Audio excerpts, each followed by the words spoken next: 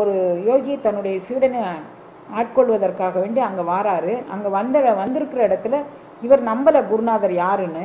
அப்போ இது மகாகவி பாரதியாருடைய கதையில் அவர் அவருடைய சுயசரிதத்தை அவர் எழுதுறாரு. அதில் வர்றது அந்த யோகி வந்து இவர்கிட்ட முன்னால் நின்று என்னப்பா நீ நீ என்ன செய்த? அப்படின்னு கேட்குறாரு இவருக்கு அந்த இவரை நம்பலை.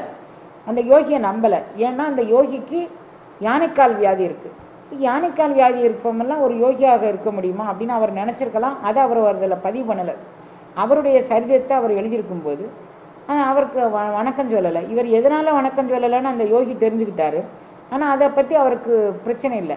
தான் அகப்படுத்தி ஆட்கொண்டு அருமை காட்ட வ- சீடன் இவன். அவன் எந்த நினப்பு நினச்சான? அவன் எப்படியா தான் இருந்தானே? நான் என்னுடைய கடமை அந்த சீடனுக்கு கருணை பண்ணுவதுன்னு அந்த யோகி நினச்சிருக்கலாம்.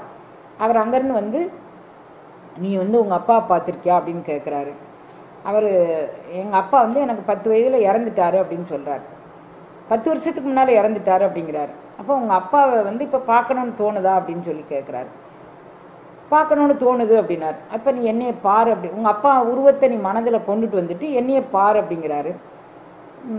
பாரதியார் வந்து கொஞ்ச நேரம் அப்படியே இருக்கிறாரு. அவங்க அப்பா உருவத்தை நினச்சிக்கிட்டு இவரை பார்க்குறாரு யோகியை.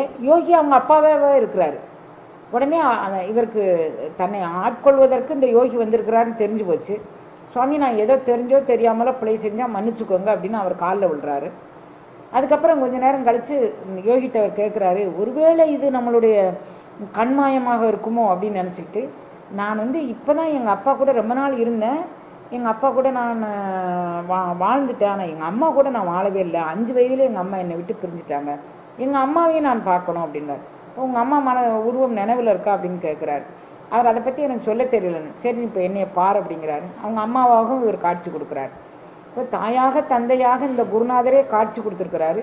இவர் நமக்கு எல்லாமாகவும் இருப்பார் அப்படின்னு சொல்லிட்டு பாரதியார் அவர்கிட்ட சரணாகதி பண்ணுறாரு சில வாசியோக நுட்பங்களை எல்லாம் அவர் இவருக்கு கற்றுக் கொடுக்குறாரு.